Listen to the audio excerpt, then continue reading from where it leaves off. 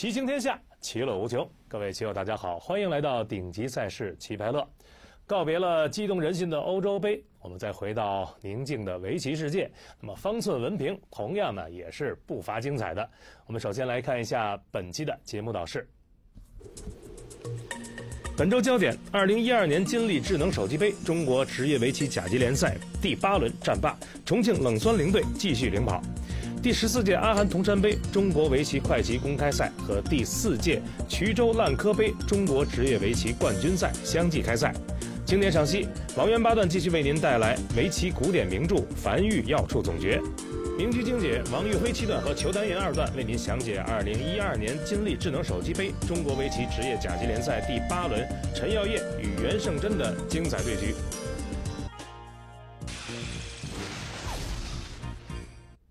本周，二零一二年金立智能手机杯全国围棋甲级联赛是结束了第八轮的比赛。结果呢，重庆冷酸灵队三比一战胜了卫冕冠军辽宁觉华岛队，从而在积分榜上继续领跑。八轮战罢，重庆冷酸灵、苏泊尔杭州和贵州百灵队占据三甲，浙江建设银行、大连上方恒业、辽宁觉华岛和中信北京分列四到七位。而今年的围甲新军安徽华谊队则是高开低走，八轮过后退居倒数第二，前景不容乐观。老牌劲旅中国移动上海队八轮仅积七分，排名继续垫底，降级阴影挥之不去。围甲无弱旅，围乙联赛啊，同样也是强手如林。不久前呢，二零一二年全国围棋乙级联赛在福建的厦门举行，我们一起去现场看一下。今年的围乙联赛总共有十六支队伍的六十四名棋手参赛。日本老将赵志勋携三名日本年轻棋手首次组队参赛，是成为比赛的最大亮点，引起了各方媒体的关注。而以超级棋手李世石领衔的十位现役韩国顶级棋手组成的庞大外援队伍，在围乙联赛上同样也显示了强大的实力。经过七轮鏖战，最终。广州广日队和广西华兰队获得了冠亚军，成为2013年度的围甲新军。不满18岁的小将党一飞，年初在国际大赛上豪取17连胜，并获得第四届 BC 信用卡杯亚军，引得国人瞩目。这位翩翩少年本次代表四川队参加了乙级联赛，在比赛的间隙，我们采访了他。主要是我爸把我带到这条就是围棋围棋路上，然后。后面也是 真的是拜过很多师，然后北京的话，业余的时候就在道场待着，然后升了职业之后，在国家队里就是，然后。那平时在网上下棋多吗？对，回家之后一般就是网上也下一下，我觉得网棋对我对棋力的提高还是有帮助。在网上就是一般都和什么样的人？对我们有有些人下的多了嘛，我一一看那些 ID 我就知道是谁，然后一般都和那几个比较知名的人下。我透露一下。嗯，大概就是朴廷桓，然后朴永训，还有袁胜珍之类的。那胜率怎么样？啊，我胜率还是差一些。拥有着朴永训、党一飞、古灵翼这样强大阵容的四川队，他们的冲甲之旅呢依然是功亏一篑。围乙联赛的竞争之残酷可见一斑。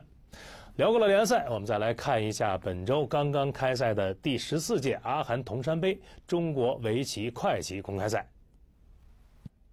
由于冠军将代表中国出战中日阿含铜山杯冠军对抗赛，因此阿含铜山杯历来都备受棋界的瞩目。本届比赛更是吸引了国内几乎所有的职业和业余高手参赛。通过等级分排名和网络选拔，共有一百四十四名棋手进入本选赛。最终，刘星、周瑞阳、佗佳希、严欢、童梦成、张维、孙腾宇和安东旭连闯四关进入本赛。他们将与八位种子棋手展开角逐，争夺最后的冠军。第四届衢州烂柯杯中国职业围棋冠军赛七月二号在北京开幕。这个比赛呢，将会在七月三号和五号连战两轮，决出八强。衢州烂柯杯是目前国内等级分最高、水平最高和奖金最高的职业围棋赛事。哎，这是一项三高赛事啊。那么后面的比赛呢，将会在八月底在著名的围棋之乡浙江省衢州市举行。好了，聊过了一周的奇人奇事，还是要告诉大家一个好消息：我们中央电视台体育频道将会在七月十号和十一号连续两天为您现场直播首届中信银行杯 CCTV 电视围棋快棋赛。那么具体的直播时间呢，是在每天下午的两点到三点半，请广大的棋迷朋友相互的通知一下，咱们千万不要错过。好了，接下来呢，我们还是要请上我们的老朋友王元八段，为我们带来围棋古典名著《樊玉要处总诀》。广告之后，精彩。乡下的樊玉要处总诀，呃，从之前好多次给大家介绍到这个樊玉要处总诀的时候，呃，我自己有一个感受，相信我们的棋友啊，在进一步的了解了诗乡下这个樊玉要处总诀之后，一定能够与我有同感。这就是樊玉要处总诀他所说到的棋上的道理呢。哎，非常精彩，而且呢，从过去到现在，啊，从两百五十年以前，当时诗乡下总结的这些东西和我们现代棋局上所反映的东西呢，哎呀，到处都是一致的，它的精髓的地方是一致的，非常好。就是说，过去的精神、过去的思想，到现在的棋盘上仍然在闪闪发光。好，今天我们也来品读一句，这叫“一劳互益，忙须夺”。这一句啊，就叫“一劳互益，忙须夺”。那么像过去一样，我还是把它的注释给大家念一下：“一劳互益，忙须夺。同此一步，彼拒之则彼益，我战之则我益者，虽忙，弗让也。”就是说，凡是那种啊非常要紧的地方，敌人啊对方占据了，他就很舒服。而我占据了，恰恰这一点我也很舒服。这一点或者是这个方位、这个方向，那么这样的棋呢，虽然你很忙啊，大家现在工作都很忙啊，日理万机。那么虽然你很忙，但是你也不要让这个地方也要占据它。哎，这个道理一说，肯定我们大家也都很很理解啊，彼此会心一笑。那么在棋盘上究竟是什么样的情况呢？请大家看棋盘，我给大家先摆一个简单的棋例，比方说。棋盘上有这样的一个形状，星位，然后呢拆边，这个是很常见的。在某一种情况下呢，也许对方来打入，或者是他挂角我三间家，哎，然后下成这样的情况了。这会儿呢，我们先假设该黑棋下，这会儿就有一个一劳互益忙虚夺的问题。什么地方是关系到彼此的劳逸呢？很简单，黑棋。如果把脚上一印，这个脚上就全部变成自己的实地，与此同时影响了白棋这个子的根据地，那么这样的棋呢，就可谓劳逸攸关了。呃，当然在之前的樊玉要素总结当中，诗向下也说到，我们的棋友可能也记得叫劳逸，哎，叫劳逸攸关少宜图，啊，可能各位也有印象，说的呢跟这个是差不多的意思哈，呃，但是也有些微妙的出入吧。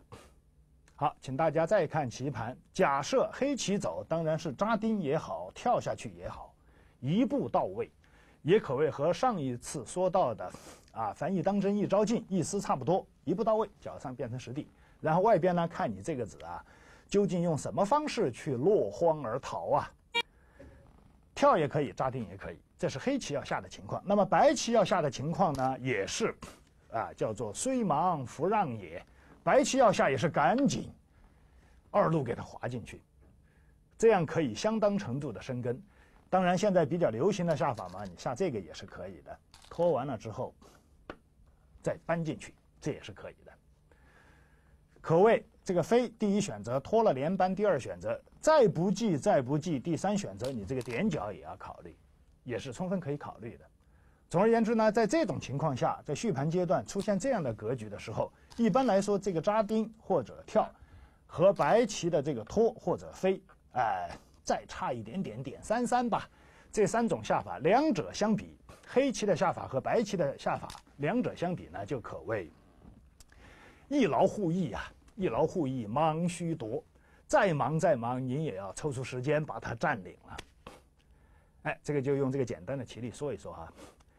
呃，但是呢，我还是想经过呃，通过近期的一盘比较重要的棋局呢，也来解释一下、议论一下，给我们大家留下一些印象。在最近，也是在五月底，就是在五月二十七号，当时呃二十六到二十七号这两天，在日本有一个大的比赛。呃，这个日本呢有三大比赛是比较重要的，一个是棋圣，一个是名人，一个是本因坊。我们的棋友呢了解的。呃，就是资深一点的，一定对这个是了解的。他们这三个比赛呢，一个是高奖金，第二个呢是传统传统性的，历史很悠久。第三一个呢，就是他下棋啊，决赛的方式使用时间很多，他们每一方使用的时间是八小时到九个小时，而我们一般呢，这种世界大赛呢，使用的时间是三个小时。所以日本的这种比赛，它一般啊，棋手要下两天，啊，他这个时间就很富裕啊。那么下面我要给大家介绍的这盘棋呢，就是五月二十六号到二十七号进行的日本的这个新一届的本因坊赛的决赛第二局，哎，是有两位，一位呢是本因坊，他的名字叫做山下敬吾，另一位呢是他的挑战者，他的名字呢叫景山裕太，啊，景山裕太呢年轻二十一二岁吧，年轻一点，呃，山下呢不到三十，这两位都还是年轻。呃，他们的棋呢，可以说是都是有日本的围棋价值观的印记的这么两位年轻的棋手。但是，正如我们大家都了解的这样，日本大赛它这个冠军获得者他的奖金非常非常高。你比方说本因坊站，它的奖金至少在四千万日元以上。所以呢，日本大赛他们这些棋手的冠军奖金很高。但是他们一参加这个有中国棋手和韩国棋手参加的世界大赛的时候呢，往往在三十二强。第一轮，他就偃旗息鼓了，就被我们冲得稀里哗啦。很显然，他们的围棋价值观出现了一些问题啊。这些问题呢，当然我们在这多说无益，要让他们自己去反省。好的，我们通过这盘棋呢，来看一看这个“一劳互益，忙虚夺”啊。请，请大家看棋盘。这盘棋呢，是第二局是由山下敬吾本因法对挑战者景山裕太。他们这个决赛呢是要下七盘棋，每一盘棋呢要下两天，这个不是连着下的，是比方说这个月下两盘，下个月再下两盘，哎，一般呢延长的时间是很长的。黑棋呢是山下，这个开局还是比较正常的。白棋是景山裕太，黑棋下一招挂角，然后白棋再挂，这个开局也很常见。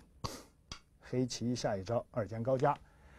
呃，稍微要说一下，这个开局，我们的棋友呢，肯定以前看的很多。但是呢，吴清源大师大概在三五年以前就有一个明确的说法，这个布局啊，呃，我们的棋友就不见得知道了。吴清源大师呢，就就从宏观的思维上提出了一个见解，我觉得这个见解非常棒，请大家看棋盘。就是当这个格局黑棋新小目和白棋的小目，呃，小目朝外和这边的新这个格局下好，黑棋下一招来挂这个角的时候，白棋经常是到右下右下角去挂。这会儿呢，黑棋在这一带选择任何方式的加工，照吴清源大师看来，这个加工，我把棋子放在这儿，你怎么加工都行。这个加工呢，就显得行棋的目标没有那么明确。那么他老人家的见解是什么呢？他是说，在这种格局下，黑棋应该下的一招棋是尖起来，先把拳头攒起来，先把自己的位置站得比较高，然后接下来这一个行棋方向和这一带的行棋方向，黑棋必得其一。看上去第一阶段白棋这个猜在这一带比较从容，但是第二阶段当黑棋从这一带来行棋的时候，黑棋会比白棋更好。举个例子来说。我这个画个示意图啊，简单说一说。先挂，然后再加。这个白棋都是必应的。当黑棋下一招从这儿拆回去的时候，我们哎，我这个就今天不展开长篇大论了啊。白棋这个防，呃，这个防啊，也可谓一劳互益，忙须夺啊。这个白棋必须要防。防完了之后呢，我们来分析透视这个格局呢，发现吴大师说的太好了，就是黑棋这个尖起来的这一片黑棋是有发展、有配合。白棋尖起来的这一片没东西，它只能龟缩于一个角上去做活，它的发展性说不上。再看第二个指标，白棋在黑棋的势力范围内，这个开拆它是一种状态，但是不是很好不知道。而黑棋在白棋左边，它这个开拆和搭配的棋形搭配的这个格格局啊，黑棋是很好的，这个格局比这个好。因此，现在已经有两条指标，黑棋都已经比白棋好了。哎，就算你这挂过去，它就算跟着印也是这样。白棋这个格局也没有黑棋这个合理，没有这个好。白棋这个尖起来没有发展，黑棋这个尖起来有发展。就是从这两个角度来说，黑棋就是不错的。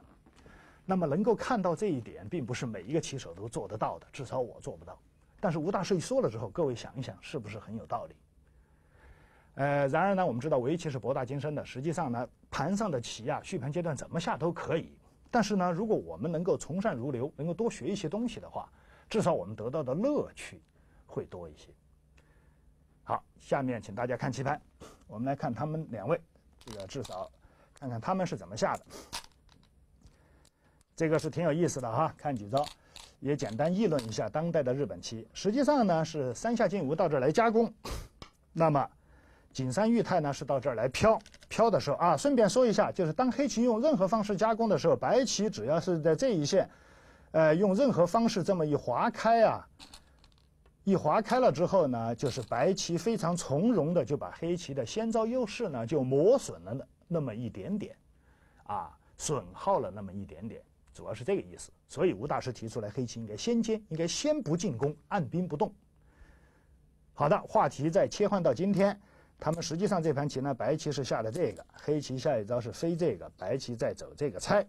下一招棋呢下的比较酷，山下呢比较有创意，这个阵头，呃，这个阵头呢又让我想起一段往事。这个阵头对于现在的年轻日本高手来说，呃，可以说他们需要这样的精神，啊，要不然呢这个墨守成规啊，就就更更难办了。那么能够下出这么飘逸潇洒的棋的是这样的棋的这个棋手呢，实际上往他们的围棋历史上来看，要倒数三百年。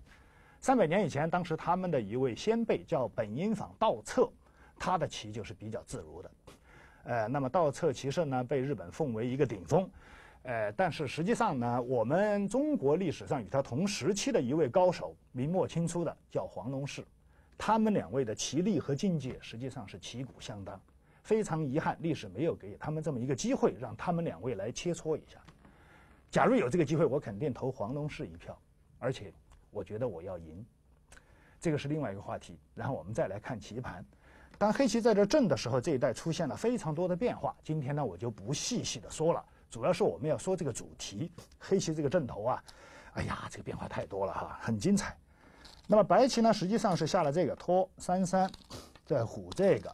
黑棋再退，因为黑棋这个阵头呢，它简单说来是它看着这个点，同时它期望你反击，然后它从这一带来飘，把两边的力量进行一些综合利用。白棋呢，下一招棋，景山裕太下了这个，黑棋再下这个，点进来，白棋真的就挡了。黑棋下一步再顶，顶开的时候，白棋的这一招棋，就是和我们今天的主题扣上了，叫做，哎，一劳互益，忙须夺啊。这招棋呢，就关系到双方的劳逸。请大家看棋盘，当白棋一蹲下来的时候，这块白棋基本上好了。与此同时，挤压了黑棋的空间，所以黑棋就没有那么安顿。假如黑棋有很好的机会到这儿一个巴掌抡过来的话，黑棋自己活透了，空也很大。白棋这四个棋子完全像秋风落叶一般。因此，这个棋形呢，这招棋就叫做劳逸互益，忙虚夺啊。哎，只不过呢，要推敲这个布局啊，这个话题就太多了啊。今天我们的主题是说这个啊，劳逸互益，忙虚夺，哎，留一点点尾巴，以后有机会再来议论。就是今天这盘棋啊，就是五月二十七号日本本因坊站出现的这盘棋呢，多多少少闪现了一点点日本年轻棋手想要这个革命啊，想要呃进步的这么一种信息，有这么一点信息。说实话，我们看见也是很高兴的。啊，他们老是这样不堪一击啊！现在在世界棋界已经形成了一个非常令人郁闷的这么一种影响。好，今天的话题就到这儿，啊，谢谢你的收看，我们下回再聊。好，感谢王元八段为我们带来的精彩点评。接下来呢，还是要请上王玉辉七段和裘丹云二段为我们来详解二零一二年金立智能手机杯全国围棋职业甲级联赛陈耀烨与袁胜珍的精彩对局。广告之后。观众朋友们，大家好！那么刚才呢，主持人已经为大家介绍了这个联赛的情况了。接下来呢，我们就和王老师呢一起给大家介绍这盘对局。嗯，好，好，那这盘棋呢，对两个对手都很强，也是很知名的棋手，我们也就不过多的介绍了啊嗯。这盘棋是非常精彩的一盘对局。陈耀烨执黑先是。，嗯，陈阳烨呢，最近执黑下中国流的频率也很高啊，就是有一段儿好像大家都在热炒这个中国流的概念是不是过时了，好多人呃突然间一起就不下了，嗯这事儿确实也挺神奇的啊。要这中国流的布局呢，确实流行了好几年，那大家往往是一窝蜂的一起下，要不然就是一窝蜂的一起不下啊。嗯前一段联赛的有一轮吧，好像说大家几十盘棋没有一盘是下中国流的，也啊很好玩儿。嗯，大家终于对他觉得厌倦了，对，黑棋先挂。黑棋。先挂，对这个呢稍微有点意思啊。呃，如果我相信，如果要是白棋，比如说二连星，或者是任何一个其他的布局，哪怕是这个新小目啊，可能陈阳烨就直接下这个中国流了。哎，但是偏偏呢是白棋实战的这个底下的星，上面的小目的时候呢，哎，陈阳烨要先挂一下，这个呢稍微有点学问。嗯，邱丹云老师给大家介绍一下怎么样？嗯嗯，这个高挂呢，一般来说比较普通的下嗯想法呢，就是嗯觉得好像不想被人家这个小木角率先手脚，或者是是哎他也下中国流之类的想法吧。是。呃，你先挂一个，先限制他这个小木的这些这一类的下法。嗯，它主要呢，陈阳烨啊，我们曾经探讨过这个，呃，因为这个这个棋呢，我们以前经常的研究啊、对局啊、训练的时候都会经常的遇到啊。陈阳烨呢，我想啊，他直接下中国流不是不想，但是他心里有可能隐隐约约的，他是讨厌别人跟他下模仿棋。嗯，这个下模仿棋呢，对于白棋来说，不失为对付中国流的一个这个剑走偏锋的一个良良药吧。啊，这很好玩。嗯有一阵儿下挺多的。嗯所以呢，他这个先挂一下，一般来说呢，挂角的时候白棋也就脱退了啊。对，不管你是脱退还是走加工什么的，反正你就嗯下不成这个模仿棋了。这个相信呢，呃，可能也是陈阳烨下这个挂角的其中一种思路。嗯嗯。然后你看他交换完了以后，他这地方他也不走了啊，他也不走，他马上再回过头来走中国流，就说明他陈阳烨在下这个棋的时候啊，还是把中国流当成他的一个重要的一个目的啊。中国流我是非下不可的，但是呢，我还要同时阻止你跟我下模仿棋，以以防你打乱我的这种节奏啊。对，哎，这个棋呢比较有意思。对看起来陈耀烨还是比较酷爱走中国流的，是吧？嗯，起码在这一段时间吧，因为在零九年的时候呢，二零零九年的时候，我曾经有一年，就是那一年的呃金立智能手机杯围甲联赛里呢，我跟陈耀烨是队友，我们俩一同效力在这个中信北京队啊，所以呢，在那段时间我们之间的沟通也比较多，对于棋的一些想法啊、布局的一些构思啊，也都有一些交流啊。所以他这个想法呢，我估计我猜测的应该是比较靠谱的。不过今年陈耀烨在前七轮当中胜率还是挺高的，嗯总共是五胜二负，啊，非呃，远远高于陈袁胜珍。袁是胜珍反而嗯发挥不太出色，只有一胜四负。哦，是这样。那陈耀烨，因为他也是经常当主将了，对啊大家都知道，中信北京队呢以前是孔杰九段经常当主将，嗯但是最近呢，孔杰的状态确实不太好，那陈耀烨就挑起这个重担了。嗯，那陈耀烨虽然还没有拿过世界冠军，但是他的实力早就有世界冠军的实力了，对啊，我相信也是迟早的事儿。他是冲击世界冠军未果，应该说小飞，白棋小飞白棋小飞，哎，这个棋呢，其实多少还有点模仿棋的影子、嗯啊。那这个时候呢，嗯，很容易这种格局啊，很容易就变成这个互为模样的这么一盘棋了。嗯我们看黑棋呢也是很契合，黑棋走这个。其实黑棋要是现在稍微的，比如说软弱一点啊，黑棋可以退这个，对，退这个就就下不成这个对为模样的棋了。然后长，对，等一下拆个二，嗯嗯，白棋白棋估计还是要逼住，逼住是嗯，要不然这个被别人再拆个二，价值太大了。嗯然后黑棋，黑棋其实再走也可以。那黑棋正常的话可以补一个，稳健的补一个，这个呢确实也是一局，也是一局。如果我下黑棋的话，我可能会选择这样的下法，因为我胆儿比较小 啊，我比较害怕这个对方跟我互为模样。因为互为模样的这个棋啊，呃，应该说很难掌握，就是是不管是黑是白，对，非常难以把握。嗯，除了极高的水平呢，还真的是需要一点勇气才能下这个对位模样的棋。是嗯陈阳烨显然是实力跟勇气都不缺乏啊，所以他还才会走实战的这个小飞。这个小飞呢，就是一定要逼着你先进来。你要是先进来的话呢，我先攻你两下，然后再走这个最后的大场。这样的话，黑棋就比较开心了啊，先把大场先占了。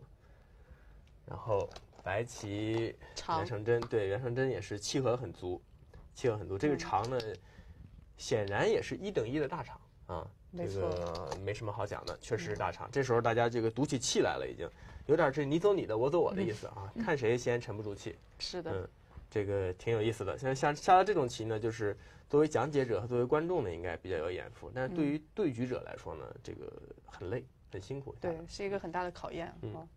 跳起来，跳起来，应该说黑棋这边六个子所构成的这么一个这个布局的形状啊，嗯，呃，可以用完美来形容。非常漂亮。对嗯不太容易再找出，就是你这六个字随便摆，让你随便摆啊，也不太容易摆出比这六个更好的局面。嗯嗯，可以跳到这一点，局部的这个形状还是不错的。嗯，然后白棋拆上面。对，王老师，现在嗯上下这两条边应该如何选择呢？真的是不好选，真的是不好选。嗯，我在觉得这个棋，我在想的时候，这个哪个大确实也很难讲。嗯，很难讲。白棋下的话，白棋走这个也很大，对，也很大。呃你要是拆的话，它再跳起来，确实也很大。是，你如果震的话呢，它就飞着这个围空。嗯确实也感觉上也是不错的。嗯这个前一段儿我记得在咱们这个棋派乐讲过一盘棋，就是李世石跟范廷钰下的一盘棋。哦，哎，应应世杯好像就是对李世石选择的就是这个，那盘棋范廷钰是尖冲输给范廷钰了。对是，所以就这步棋确实也是很想下的一手棋。嗯当然，实战他既然选择这个，也有他的道理。这手棋上下确实这个很难打分，一百分、九十九分、九十八分，这个很难打分。就是有的时候可能也是凭棋手的一种直觉，因为这个地方显然不是凭计算下出来的，是凭直觉下出来的，是的，看他的感觉，也是可以的吧？这手棋，嗯，拆到那里。嗯，不管怎么说，如果以间隔的距离来说，是嗯这边比较宽理想一点。是很理想，因为这个后市嘛，这个后市的发展面显然是这边更重要一点，这边稍微次要一点，所以嗯白棋拆出来显然也是，嗯、无可指摘的一手棋，嗯，嗯，黑棋逼这个，啊逼这个真是够凶的，这手棋逼典型的陈耀烨的风格的棋，就是不给对手留任留下任何的退路啊。到头了，这都到到头了，这头了，你肯定不能走在这儿嘛。这棋其实普通的走在这儿已经已经可以满意了。嗯，这个幅度啊，已经是对于黑棋来说，也比较开心的一个形状对了啊。逼在这儿，逼在这儿的意思呢，就是说逼着白棋在这儿打入了，你不打入也不行了，因为你如果不打入的话，我下一手棋就不是往回补了，我是补在这儿了。如果构成这样的一个格局的话，白棋再想打入，那个要辛苦多了。对，而且打入很有可能的结果就是被人家在另外一边围成很大的。是，所以呢，他这手棋逼到极限，就是丝毫不给对手退路，这个年轻气盛啊，确实嗯是是陈阳的棋。嗯，是。那这个时候袁胜真已经没什么好选只有打入了，这个个这个真的是没办法，只有打入了。黑棋小尖，嗯，小尖，这棋不能跳，跳的话得给别人留一个拖过，这是不舒服的。嗯、，对，小尖，白棋往外飞，跳起来，跳起来，对，再跳。再跳，所以这个时候呢，这几手棋对双方而言啊，就几乎是没有选择的啊嗯哼。黑棋还是得跳，白棋跳出来。对，哎，这个逼呢，就形成了一个怎么说呢？呃，刚才还是互为模样的那种，大家互撑的一棋啊。嗯，现在呢，经过这几手棋打入往天上跳之后呢，马上就从刚才那个格局啊，变成了互破的一个格局了，是，谁也不要围了。但是黑棋呢，也虽然还是有一些基础，但是也不容易围成特别大的空了。那白棋这边呢，那就更是不容易撑起大模样了啊。这棋确实一瞬间，由于这个一个选择的这么一个出入啊，一瞬间这个格局就是完全变了。对，嗯黑棋刺一下，这个刺呢，我感觉啊，我在看这盘棋的时候，我感觉这个刺可能陈阳也有点随手。哎，他因为刺的时候，一般这个形状总是想着别人接上怎么样啊？嗯就是陈阳烨可能就想着我刺一个你还能不接吗？嗯，然后后面的招法呢都在他的这个预想之内。嗯我估计这个是陈阳烨当时实战的一个很正常的一个想法。啊是的，但这步刺呢，实际上它是有风险的，它不是百分之百能刺着。嗯而这一点呢，确实袁胜真可能状态也不好，或者说他可能也在这里没有细算啊。嗯，呃，如果真是走出严厉的反击的话呢，这个事儿我觉得黑棋挺不靠谱的。其实，白棋现在最强的实际上是并这个。嗯，那我真的是不知道并这个的话，黑棋怎么办。假如说他接住，假如说接住的话，那这个刺呢，应该说就是一个失败的棋了。我再一次，那双的时候呢，同时把你这个给刺，嗯，接上，对，如果下成这样的话，大家看啊，这手棋基本上刺在双关的一个位置啊，对，基本上等于浪费了半手棋，可能都不止。然后这一下黑白棋再把这个脑袋一震过来，这个估计黑棋就够呛了。如果这盘棋真下成这样，因为这手棋和这手棋交换啊，那不是一个等值的交换，那个差太多了。是白棋站在这儿以后呢，不仅攻击了黑棋这个大棍子啊，这个孤棋，同时呢，大家看啊，由于白棋争过来这个头，远方虚花花的，是不是已经变成白棋的一个大形势了？嗯，这个大形势真的可以叫飞机场性质大形势了 啊！你要是再往外跑，他就这么跟着追过来，这个地方一旦成空的话，那黑棋是不可能赢的。嗯所以说，如果我反刺的时候你只能接，这个黑棋肯定不行。嗯，对那么就是说，在白棋双这一下第一下的时候，黑棋就要要求反击，嗯，所以要冲断，是吗？，对，嗯因为你这个时候不反击的话，你没有什么别的棋好下。有的棋友说是不是可以走这个？其实走这个白棋双过来，看上去你这个地方是没有断的，但实际上将来被刺两下啊，被刺三下，这个形状是非常的恶劣，对，非常的坏，嗯。嗯，确实，所以黑棋这个时候如果不能够在这儿，呃不能接受在这儿忍耐的局面呢，就只有反击。反击就是只能从这儿冲过来。哎呀，这个冲过来，说句实在话啊我，觉感觉上得挺危险的，感觉上作战的前景呢，对于黑棋来说是非常的危险，非常非常的危险。再一打吃，接上对，由于这个地方争子呢也是白棋有利，你也争不掉这个。是，白棋现在可以在这儿补一个，比如说走这个，嗯然后再补一个。这个局部的杀气，这四个子跟白棋这一对杀气呢，肯定是杀不过的。白棋都有有眼位，都快活了啊。对，那现在呢，从这儿打吃出去又看不见出路，比如你打吃他跑，嗯怎么办呢？下一手你不仅争不掉他，而且下一手白棋这个贴还是先手。你如果看成这个贴就被贴成这样的话，那这个地方是很难走出棋来的，确实，很难走出棋来的。这个棋黑棋实际上是相当相当的危险。如果下成这样，嗯我们本身从一个形状来预判一下，就是看这看到这儿，看到这儿，你看黑棋上面一个丁四，下面一个丁字，这种以这种一个很不好的形状来跟对方作战啊，嗯其实从职业棋手的这种第一感来说，就非常的不靠谱。其实有的时候下棋，如果包括我们下快棋比赛的时候，很多的局面复杂的话是没有时间去计算的，也只能下一步去算一步。那这个时候用什么来判断作战的前景呢？实际上就是通过棋形，通过这种经过多年训练的这种第一感来判断这个作战的前景怎么样。嗯像这种啊，由于我们专业棋手的眼光来看，这个黑棋的形状非常的危险嗯啊，非常的不靠谱。是的，所以呢，我觉得袁胜珍，呃，首先是陈阳业在这个地方的这个刺呢稍微有点随手，嗯其次呢，袁胜珍可能也不是特别敏锐。确实，这个棋手是有状态的啊。对你，状态不是很好的时候，可能这种机会来临的时候呢，就是抓不住。嗯，好，这个刺，刺这个的时候，白棋应的特老实，嗯，我估计白棋可能啊在这儿也没怎么想，他就粘上哎，了，可能也没怎么想。那这下呢，就被黑棋便宜到了。黑棋这个刺呢，主要是为了这边能能够更加的、呃安全一点啊，牢固一点这边的实力。那刺着了的话呢，黑棋总是便宜的。嗯，这个但是很险，这个等于是 露了一个破绽出来嗯啊，对手没抓住，这个很危险。黑棋小陈阳也是很危险的。嗯，白棋尖一下，再贴回来嗯，它是贴回来，啊，贴回来贴，回来，然后再跳这个。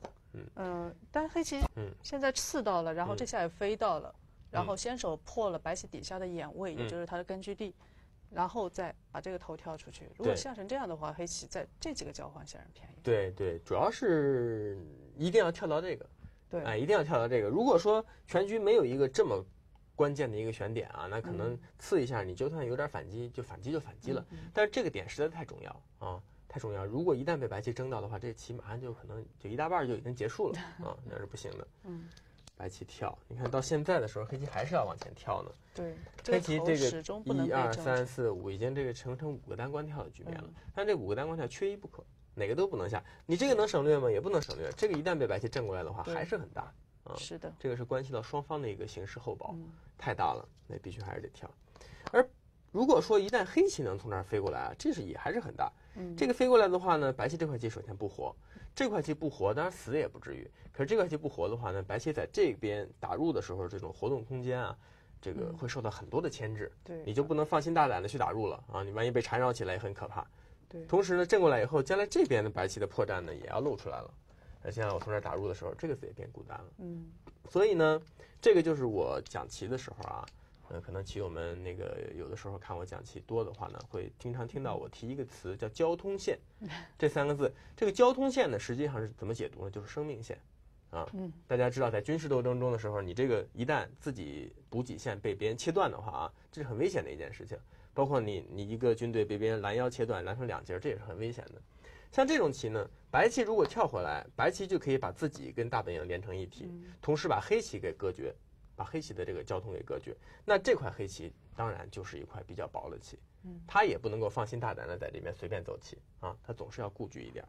那如果这个交通线被黑棋占过来的话呢，我们看就是形成刚才我们所说的那个格局，这个对于白棋来说也是不可接受的一个很痛苦的一件事情啊。这个就是交通线。这个交通线呢，真的是毫无疑问，它就是生命线。所以大家在下棋的时候呢，如果说能够把我们讲的这个概念、这个理论性的东西啊，用到实战上去啊，你的棋一定进步，而且是长长足的进步，一定是啊。但是交通线呢，它在围棋的各种理念里，应该还是属于偏复杂的那种理念啊，不像是那个特别简单的，呃，什么直三要取三那种东西啊。这个需要您，哎，慢慢的去。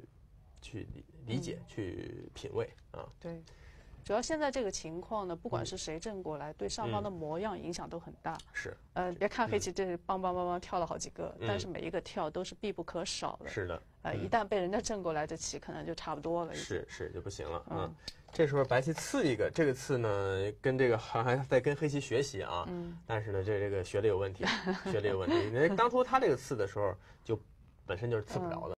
是的，可能白棋现在也想，白棋的想法呢是，哎，先刺着一下，然后这个刺对这边有好处，然后再跳，或者它有可能飞，就让你冲断起来不舒服一点，都有可能啊。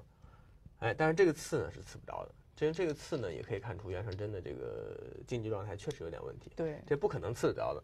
黑棋当然从这个天元这儿反并一下，对黑棋这太舒服了。嗯，这个双一下以后呢，白棋刚才那个一跳就简单连回来的那个好点啊。已经无形中就是你再也找不着了。对。但是呢，你又不能脱先，你脱先的话，黑棋这个飞过来啊，这个价值还是很大啊。所以白棋还是要抢这个飞。但是这样的话呢，白棋这个刺就亏了，就真的还不如刚才就直接往前跳算了。因为这刺一下，这个子飘在空中啊，你要说它没价值，可能也是不客观啊。但是这个价值体现在哪儿啊？现在确实看不出来。就是你比如说把这个子从棋盘上拿下去，跟放下这个子。看不出对整盘棋的这个进程和格局有多大的影响啊，所以呢，那这边就先吃亏了。这边你这个交通线本来刚才跳在这儿是直接连的很安全的，现在你在这儿你就留留出口来了。比如说黑棋飞，黑棋非要跟你争一条交通线的时候，你也没办法，就把白棋穿断了。对呀，只不过黑棋现在是不是要争这个，他还可以再考虑考虑。对啊，所以说这个白棋这个刺呢非常有问题，非常有问题。刚才黑棋这个刺也不是好棋，但是白棋没有抓住。白棋没有反击，那白棋这个刺呢，又是一步坏棋，黑棋抓住了。对啊，总之这嗯这个形状不太好。黑棋当初这个刺呢，我觉得还有可能有一些别的变化，就当人家刺反刺你的时候。对，还有一些计算的难度是。但是你点这个的时候，人家刺这个，你几乎只有接上，你不可能冲断。不可能，不可能。所以说，对对白棋这个刺绝对是一个问题。是。对对对，邱丹总结的这个非常好。这个刺就是显然别人简单的 A B C D 一下就不行了啊，这么进行下去。好，黑棋现在是走这个，嗯，走这个也很稳健。这手棋呢，因为这边如果他继续在这儿走的话，有他担心有单关的嫌疑啊。因为黑棋不走，白棋也不太可能再去花一手棋联络了。是走这个的话呢，在将自身加厚的同时，还让白棋这边呢，就基本上不太可能成为什么实地了啊。这手棋价值也很大，稳健的下法啊。现在白棋现在这个棋呢，就真的开始进入互破的局面了，挂进来。跳，黑棋靠，对，那这样的话，黑棋这个跳一下，主要是为了这个白棋别点三三，别点进来啊。呃，现在黑棋这两边也都比较安全，互破。那互破黑棋最大的悬点在哪儿呢？就是这个，嗯嗯，这个二路漏非常的大。现在他有了这个子的帮手之后，他也不怕白棋外面形成后势，是，呃，然后就把它角控破一破就行了。哎，这个漏的时候呢，确实白棋。怎么去应对啊？还真的是挺难选择的一件事情。如果你要是普通的在这尖，黑棋飞出来，你可能还得挡一个，要不然人家二路爬进来，这个被搜刮了很难过。对，如果这样的话呢，哎，开盖，他甚至有可能走到这儿来了。哦，就这边走着走着，没准要成为黑棋的这个实地了。啊，这个对于白棋来说呢，其实挺痛苦的一件事。嗯，所以白棋在这个地方呢，确实还真的是挺难选择。嗯，在黑棋有很多帮手在外面的时候，人家漏到这里，对白棋是一个很大的威胁。并不是说你随便自己守守就行了，可能会被人家欺负到。对，如果你顶的话也差不多，顶人家退完了以后，嗯，这边还可以，你搬的时候他还可以先加你一下，嗯，这这个一般来说只能接回来，嗯，它飞回来你这可能还要再补，这个跟刚才那个形状也差不太多啊，大同小异。所以黑棋漏的时候呢，白棋对这几个图都不是很满意，白棋选择的是走在外面，嗯，走在外面呢，他如果加强自己以后，那嗯对中间黑棋这块棋还是有所威胁的。寄予寄予攻击的期望、啊。其实黑棋这块棋呢，由于这边还露着口，确实想攻这块呢不是特别的容易。但是呢，总之不能马上攻到，也别让它下得太厚。对这也是白棋的一个最基本的一个想法。嗯，我们看这地方黑棋是怎么定型的啊？黑棋先拖一个，拖对之后呢，这个定型呢很有学问。嗯黑棋也不是说那白棋放给我时空我就活了算了，也不能这么简单，嗯也不能这么简单，还是需要在这地方出点手筋的啊。因为黑棋如果要是普通的尖的话呢，就不太好了，被人这个棋家挡住嗯，挡住你这边还得做活啊，要不然太苦了，被挤了一挖啊。那你做活的话，大概就是虎了一粒，虎了虎了，一粒这个，对，这个棋是活了，包括这个活的也很舒服，将来白棋拐这个都是后手。可是呢，这个时候白棋这个是重要的一点，嗯，白棋走到这一点之后呢，白棋自身应该说已经很安全了，包括这嗯儿还有左刺右刺啊。那白棋走到这儿之后，我们真的可以看啊，黑棋这块棋的眼位还是很缺乏的。嗯，就是黑棋在这儿虽然活了角，拥有了这个很多的实地，但是中央这个变薄的这个代价呢，也真的是不小啊。嗯你看，你要是脱先的话呢，以后他一刺这边一搭，直接要出棋了。可是如果你在这儿继续补棋的话，你补了一手你都活不了，对吧？他这时候在攻你啊，这棋就怎么说呢？黑棋就显得很被动了，对吧？这个不愉快。嗯而且以后一旦周边白棋如此，你就面临要打眼的问题。是，嗯，总之这样一下就变薄了，这个黑棋不太高兴啊，变薄了不太高兴。所以实战陈阳烨呢，在这儿下的这个手筋呢，很值得大家学习。嗯，啊，这是一个照应全局的这么一步好棋。对，拖一个嗯。拖这个，对，所以在这个局部呢，双方的厚薄是很重要的。很重要呃，要求他，比如说能就地生根，也不要嗯让白棋下的太厚。对，这个时候的厚薄呢，真的是比这一点点实地啊重要多了。是的啊，拖的时候呢，实际上这个白棋也没有选择余地了。嗯如果你这时候再顶的话，它退回来对，这个差多了。你现在如果还是要走这个的话，首先人家不用虎这一下，嗯即便是将来虎完了以后，人家从这儿点你的时候，你这个形状很不舒服。啊所以这个子跟刚才这样白棋挡住区别很大。哎这个区别很大。嗯一下的话，你被黑棋爬到这一下，这边的形状变薄了，变薄了。黑棋在这个追求你形状保卫的时候，可能比如说我点你虎，我一顶一走一扳，我直接就连眼带空就全走出来了。嗯啊，这个对于白棋来说是不能接受的。是，所以当黑棋拖的时候呢，实际上白棋在这儿也没有其他的选择了。这个黑棋这个拖呢，等于是命令型的一种下法嗯啊，嗯势必要把它搬掉，是，只有把它吃掉。打吃，嗯，黑棋打出来。对，打出来的时候，白棋实战这个长还是偏稳健的下法啊。嗯其实要是凶狠一点儿，可以提，提我估计他是怕人家打吃，嗯，白棋可能是怕人家打吃。那这样的话形成一个结争，这个结争确实会比较复杂一点。而且这个劫双方都很重，如果黑棋打赢了粘上，这块棋马上面临生死问题。是是，嗯，他实战是退这个，退这个比较稳健。那退这个的话，黑棋也比较开心。黑棋拐打拐打着这一下之后呢，这个块棋局部就基本上已经活了。是，这里是进火，嗯，接上。白棋飞一个嗯。在这儿，白棋飞，嗯，黑棋也飞。这个黑棋飞呢，这个同样啊，这是我们刚才说的，这同样是交通线的概念，这个必须得练。虽然这块棋黑棋已经活了，但是如果你不连，被别人把这条交通线封住，你就在底下做活的话，那外面变薄了，是变薄，这个接受不了啊。嗯所以交通线这个概念呢，基本上在一盘棋，在每一盘棋的对局里面啊，都会出现，嗯，只是或多或少而已。就是不管是高水平的棋手还是这个初学者，你只要能够完整的下一盘棋了，这一盘棋里百分之百一定会有交通线的这个概念出现。嗯，如果棋友们经常听我们讲棋的话，能够把这个概念啊，就是深深的装到脑子里，每一盘棋都会去努力的发掘这个东西啊，一定是很大的一个进步啊。像这盘棋已经两次了，这个还是要飞，这个交通线非常的重要。嗯飞断了以后，为什么强调这个交通线呢？现在这两个子面临要回去的问题，是，还有这底下刚才我们说它是活了，但是呢，黑棋这一带嗯以后有先手，一大飞他就死了。对那么这一代有先手就牵涉到这块棋的厚薄，是，所以这啊、嗯，会影响到周围子力的厚薄。对看上去这手棋好像是个单关，跟自己的后死活啊没什么关系，但实际上这个交通线呢，对未来的这种影响啊，超级的大、嗯啊。刚才邱老师讲的这个整体死活和厚薄的问题，这都是木。只不过呢，在围棋中啊，嗯、大家都知道下到最后要 凭目多来来是数胜负啊。可能呢，有些人就是对木数的理解啊，就非常的浅薄，嗯就是哎，觉得这这这个守住这就是木，这个是木啊。但实际上，不仅看得见能数出一二三四来的东西是木，实际上对未来的厚薄死活产生巨大影响的，这个也都是木，也都是价值。嗯只不过呢，这些价值它是隐性的，你需要一定的水平和一定的境界啊，才能看得到。嗯啊，其实这个也是，呃如果你能看得到以前看不到的东西了，那就是一种进步 啊。这个是要修炼，这个非很重要，飞很重要。白棋呢，这个必须要往回连回去啊，嗯白棋往回连，黑棋先点一下。嗯白棋现在没有挡，对，如果再挡的话，这个倒是真有可能是后手了。对啊，现在黑棋应该不着急连这一下。对，因为这个个已经把你给分段了啊，嗯你自己也连不上了。嗯嗯，跳一下，然后白棋这时候去打入这边，嗯这个也可以理解，因为确实如果你要是硬的话呢，黑棋这个那边要是能脱先，哎，守一个白棋能守一个，这一下守出四十多目棋来啊，黑棋时控上的优势还是挺明显的。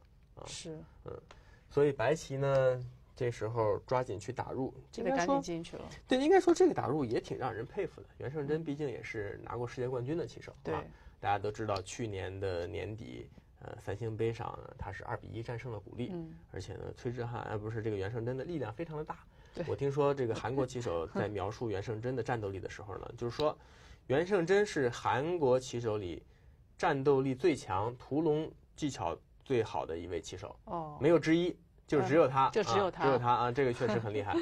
嗯，他确实那盘棋那那次比赛也吃了古力的一条大龙。嗯嗯，总之呢，他这个打入呢，看上去其实多少有点风险的啊。嗯但是哎，实战我们可以看一下啊，这是简单的弄两下，白棋就逃回去了。嗯嗯，黑棋尖顶必然，白棋搬一下，哎，然后这个这个这个飞好棋。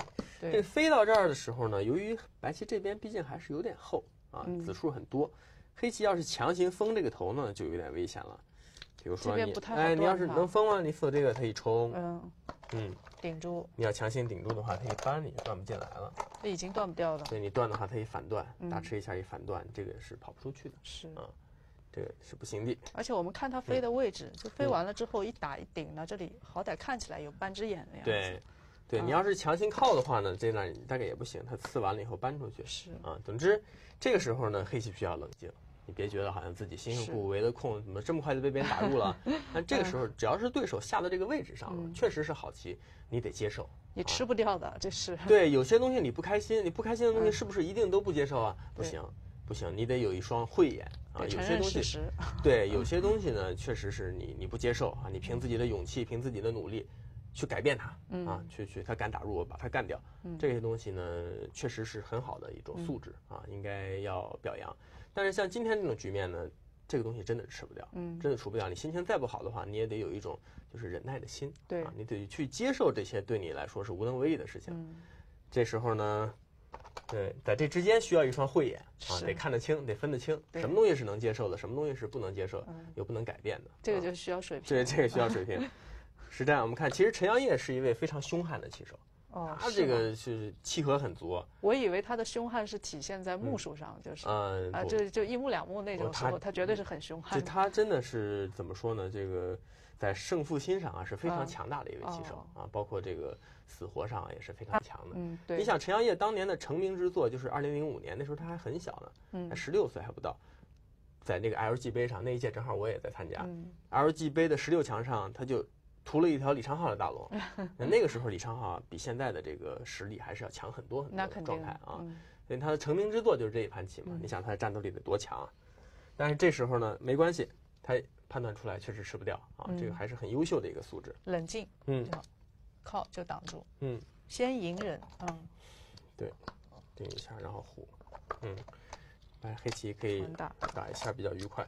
但是不管怎么说，白棋在这个局部的作战呢，应该说还是取得了意想中的一个效果、嗯啊。是嗯，把黑棋的空都破了。破了，嗯，黑棋刚才那个看上去很大的一块空呢，现在就剩十几目棋了。白棋连回来的同时呢，还带着眼，像底下这个地方实际上是带着眼呢啊。是的，哎，这个时候呢，其实我觉得啊，白棋通过这个局部的战斗啊，还是怎么说呢？把局面是走的比较焦灼，比较嗯焦灼。就是白棋现在，当然黑棋现在还得拆一个啊。白棋现在在实际上应该说是占优的，毕竟黑棋的空都被破光了。是，但是白棋确实有点薄，这个棋，尤其是这边，包括这边啊，白棋有点薄。这里还欠一手，对，所以说你要是讲这个棋是白棋的这个优势啊，这肯定是没有的说不上啊，肯定是没有的。但是这个时候我相信啊，呃，袁胜珍他在实战就下到这儿的时候，这个局部结束之后呢，他的心情一定很好，对，因为他在这儿基本上没有冒什么风险，就是打入实际上是有风险的，嗯但是呢。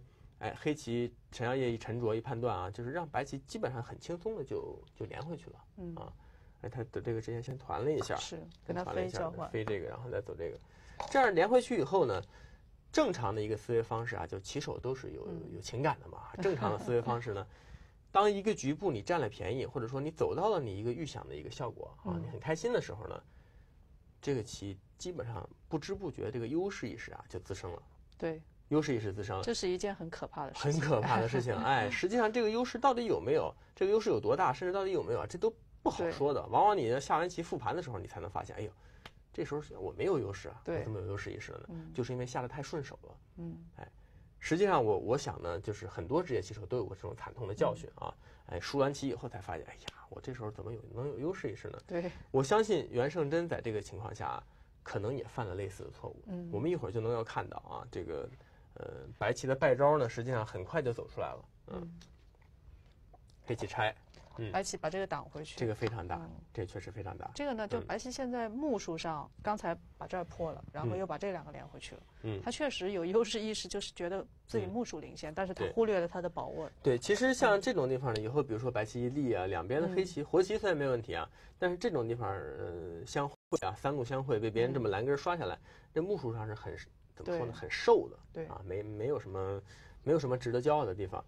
黑棋嗯先把这个抢回来，对，这个是先手。这个让白棋嗯薄上加薄。对，实际上这个时候呢，白棋虽然薄，但是啊，呃，你要说能付出多大的这个多惨重的代价，嗯这个很不好说，很不好说，因为黑棋本身自己呢也有很多要被白棋接应的地方，甚至于包括白棋这底下都有潜在的这种眼、啊，这个应该讲呢，呃，没有什么太大的风险。估计袁胜真也不怕这个时这个时候他肯定没想到，然后接下来下来，好棋，对，黑棋靠这个呢嗯是局部的一个定型的好手，这你没法反击啊！你要是想从上面反击啊什么的，这一下就漏了。嗯，你扳人家长就就封锁不住了，这只有扳，只有扳。然后他一长，但是长的时候呢，哎，这个时候啊，就是这盘棋的分水岭啊，就在这里就到来了。嗯，其实我相信我们这儿卖一个关子，先不往下摆的话，可能很多棋友在看这盘棋的时候都会很纳闷儿，这棋有那么关键吗？是吧？其实说实话，我自己都有点不相信，这棋还真的就是这么关键。嗯，实际上这个时候呢，黑棋这个本身顶了往后退呢是好手，对是，好手。他把这个子吃进来呢，有很多目数，而且呢嗯间接的防你这个冲断。你后薄。哎，你以后冲的时候，他这么一冲，他一反爬，这个退还先手，这个棋活得比较舒服啊。对这个上面也比较厚，底下也比也是活了。是，这手棋呢有它的价值存在，嗯同时呢，它还威胁着白棋的一些弱点，比如说你不能脱先，你脱先的话，人家从这儿一挖，这个是真的是要出棋了就。嗯，坏了啊。对，但是呢，白棋要补是肯定的，可是白棋应该怎么补啊？这里面学问大得很。嗯，那白棋实战的这手棋呢，这个粘啊，这是一步大恶手，一步大恶手。这个 太呢，退缩了。对这个太萎缩了。就是怎么说呢？我觉得啊，从职业棋手的这种心灵上的这种判断来，嗯就是我以己之腹度他之心吧。啊，我觉得他有优势意识了。嗯，他有优势意识了。那这手棋呢，真的不应该走在这儿。走在这儿的话，明显被黑棋先手力。这个先手力大家都看得出来，黑棋明显把白棋给挤压了，同时自己还得到一些东西。嗯，那白棋怎么能接受呢？那肯定是他有优势意识了。是，这手棋要补的话呢，应该虎，嗯，一定要虎这个。嗯，这样对黑棋中央的会有很大影响。对以后这就算一个嗯往前贴一个，中央这个子也快连回来了。我往前贴的话，你这几个子是不是便宜都不好说了，嗯你可能损了啊。所以我虎的话呢，正常来讲，黑棋应该是拐，黑棋应该是拐。那白棋在这儿叫争先手了。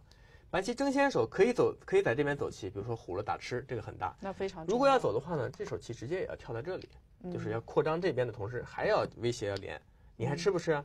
你如果吃的话，他就送给你吃，那这棋黑棋吃了也输了。是的，总之，白棋这手棋呢，如果是这么下的话，这个棋离胜负啊还非常的遥远，对还非常早。对这棋黑棋是不是能够，呃，成功的把这种后势转化成实际上的这种优势啊？因为现在黑棋实际上毕竟还是有点落后的嗯啊，呃，这个对于黑棋来说也是很具挑战性的一件事情。没错，嗯嗯但白棋实战这一粘呢，这个黑棋太高兴了。啊，这两个便宜很大呀，我觉是是，以后黑棋要再走的话，黑棋直接飞到这儿了，吃你的同时还破你的空啊！这这样的话，嗯白棋在这一个局部这一缩呀，它不是缩一目两目，嗯它这个优势一是一大以后呢，它这个别人打过来一拳，它本来应该反击一拳打回去的哈，它一往后一闪，它自己的好大一块地盘就让给对方了，对，哎，这个是不应该退缩的地方，退缩的一个典型的反面教材。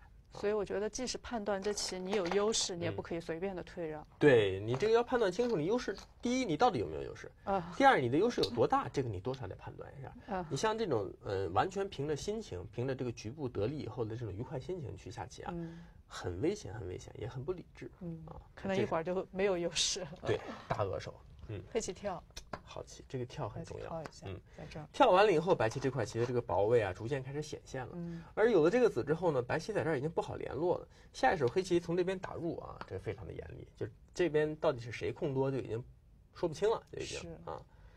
所以白棋呢，在这儿要走棋，走棋之前他又怕别人在这里一虎把它给断掉，嗯，在这儿呢，白棋不得已要卖肉了，要损失啊，这苦肉计了，等于是做了两下交换，嗯断很损啊，这个好损啊。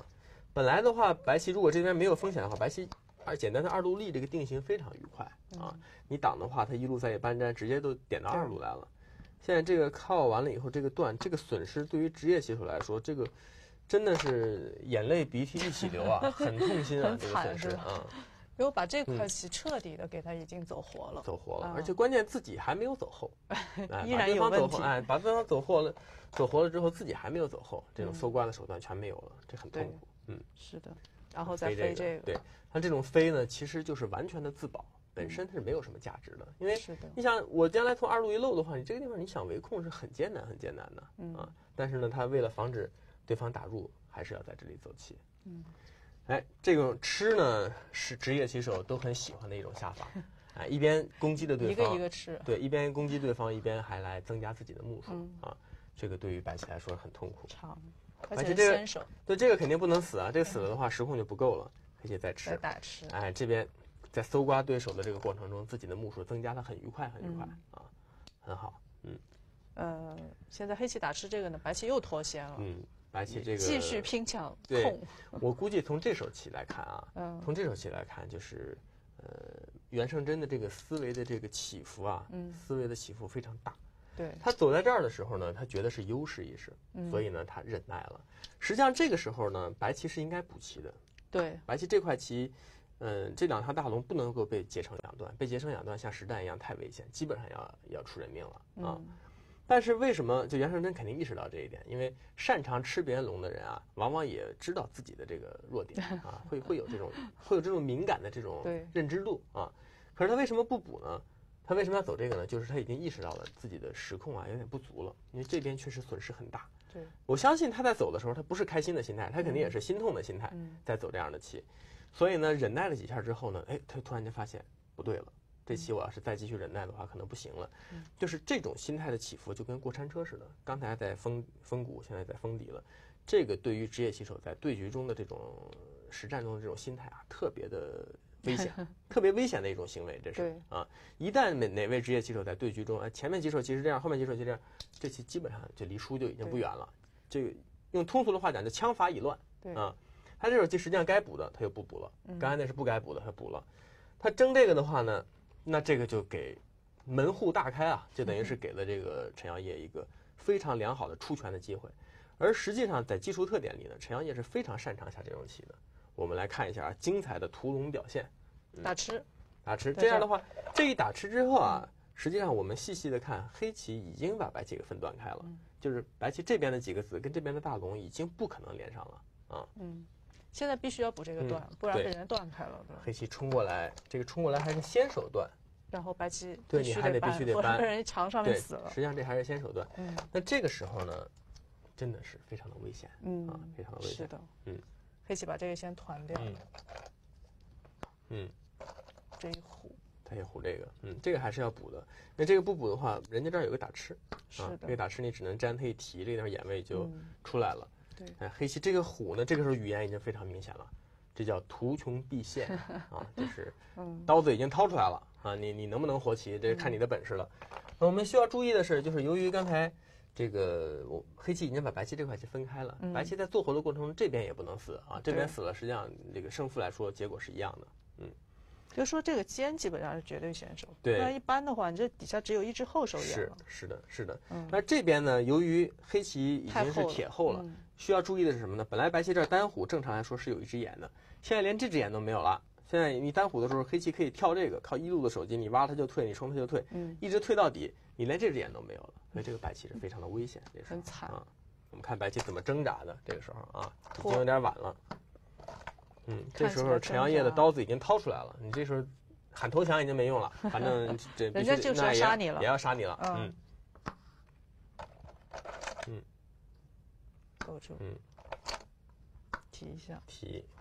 回来，嗯。上，嗯，加一下，对，这个都是命令型的，嗯，立嗯，立这个提劫的时候虎这个，对，虎的话，这时候白棋跑，哎，我们看啊，其实袁尚真还是有点本事的，这地方就搞出一个劫来。是。刚才这个拖完了挤呢，确实是好棋，嗯，但是这个局面啊，搞出一个劫来没有用，这棋真的是。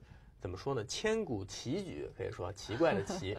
说实话呢，大家都知道啊，呃，你要是杀别人大龙的时候呢，别人一般都劫财多，对，棋长一尺，总有很多本身劫，对呀、棋长一尺，无眼自活，总有嗯本身劫。那偏偏这盘棋连本身劫都很难找到。嗯，我们看黑棋现在提劫，等会儿黑棋这地方实际上还是有本身劫的是啊，黑棋有本身劫。那白棋现在去哪里找劫呢？白棋居然满盘棋找不到劫财，这棋真的是很神奇的事情。有些劫你不能找，你比如说你打吃人家提，你这地方你是不能找的，这都是损劫。那这时候白棋意外的连一个劫他都找不着，然后白棋选择是虎这个。这黑棋好嗯好歹还有一个打吃的劫，对，虎这个的时候，这时候我们看陈阳野的精彩表现啊，嗯，非常漂亮，嗯，挡住，靠这个，这个真的是令人意想不到的强手啊，真的是想不到。这靠是先手破哎掉中间那只然后，再一接，这棋居然已经活不了了。这时候白棋搬的时候呢，黑棋就唬住，给你一只眼，这只眼我不跟你，我不跟你计较了。嗯，现在这个棋居然白棋就怎么也做不出第二只眼来，是真是神奇。鼓这个嗯，挤住，反正是要杀你了。什么虎，嗯，也没有用，底下也不是眼，自己在这里还做了一下哈，粘了一下，粘了一下，这个是嗯打僵，黑棋先挤掉，白棋这活一半等于是认输，也是不行的嗯啊，只有硬着头皮接上，黑棋搬破眼，嗯，这个地方是没有眼的下，嗯，这地方是没有眼的，这只有一只眼，那就是看中央能不能搞出棋来了。嗯，我们最后学习一下陈阳烨最精彩的一步手筋啊，冲这棋吃，冲吃，冲吃完了以后，白棋这个单顶单跑出来啊，是非常具有迷惑性的一手棋。陷阱，哎，如果你要是先打吃，这棋倒是简单了。你先打吃，你再接上的话呢，黑棋就简单在这儿一提，这样的话、嗯没有用啊，白棋怎么下都不行。看得很清楚，对，实战白棋这个单跑啊，这棋真的是有迷惑性。嗯这时候一不留神，这棋就逆转了。哎，如果你要现在提的话，显然不行。你现在提，人家从这儿一打吃，你一粘，人家一粘，这棋反而你被吃掉了。嗯，哎，不能提，那能提这个吗？提这个也不行，提这个他打吃完了以后，你接，白棋可以从这儿接，黑棋只能粘，对你，粘完了以后，白棋从这儿一打吃，这个坏了，嗯，哎，黑棋也不行。哎，白棋这个跑呢，还真的是很有趣的一手棋，很有迷惑性。啊、单跑，单跑，但是这个时候呢，陈阳烨早就准备好了绝妙的妙手。嗯我，们来看啊鱼形的妙手走哪儿呢？单粘，自粘，这个真的是绝妙。这嗯手棋一下就把白棋的这个斗志给击溃了。没错，白棋呢没有办法了，白棋如果粘的话呢，这时候黑棋就不提这个，黑棋可以提这个就还原了。是的嗯，所以白棋呢在这个地方最后是只能选择粘这个，对是吗？他这里嗯还交换了两下但没什么大用啊，，这个没有什么太大意义。嗯，对，最后一手棋，白棋走这个的时候，黑嗯棋一百五十一手断吃这个，白棋大龙，全部阵亡。嗯，最后这是这盘棋的最后一手，白棋嗯一百五十一打吃到这里的时候呢，对袁胜真就只有黯然认输了。是嗯，我们本来说这个棋都是棋长一尺，无眼自活，但是真的到后来的时候，嗯人家真的动手要杀你的时候，你会发现这第二只眼怎么也找不着了。是是，呃确实我们也能从这一盘棋感知出来这个陈阳也强大的力量嗯和这种对呃胜负对死活的这种特别敏锐的这种感觉。对这一点呢，就是作为一个职业棋手，确实很值得敬佩。对，很嗯棒哈。嗯那么陈耀烨呢夺得了这盘棋，也就是关键的主将战的胜利，嗯，为中信北京队呢可以说夺得了主将战宝贵的这一分。嗯，好很精彩的一盘棋。对，嗯是的。好，今天的讲解就到这里，谢谢您收看，再见。再见。好，感谢二位高手为我们带来的精彩点评。我们的文评论道在这里呢，要和大家说一声晚安了。骑行天下，其乐无穷。各位骑友，咱们下期节目再会。